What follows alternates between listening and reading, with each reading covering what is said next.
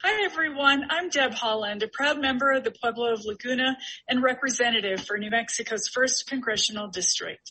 I'm grateful for the opportunity to join all of you for this year's Native American Contractors Association membership meeting and conference. This past year has been a struggle for Native communities across the country. And though we couldn't gather for this meeting in person, I'm happy to know that the Native American Contractors Association continues their important work virtually.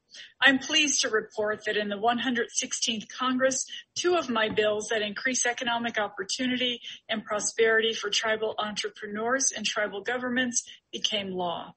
First, the Native American Business Incubators Program Act, which was introduced in the Senate by Senator Tom Udall, while I led it in the House and it works to increase access to capital for business investment and growth.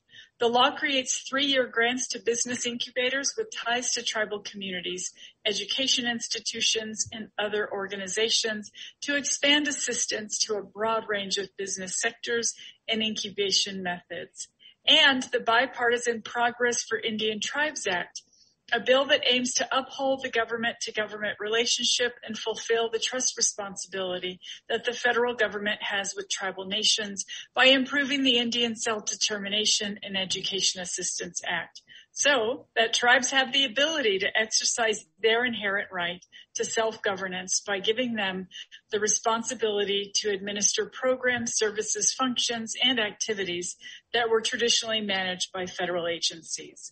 This pandemic has laid bare the disparities that have existed in Indian country for too long, and the work Native American Contractors Association does helps tribes to harness those opportunities and build economic prosperity to combat the disparities. The Biden Harris administration got off on the right foot to help this work by signing an executive order that will ensure the federal government takes an all of government approach to equity and does not perpetuate the racial injustice that has caused disparities that have put our communities at greater health and economic risks during this pandemic.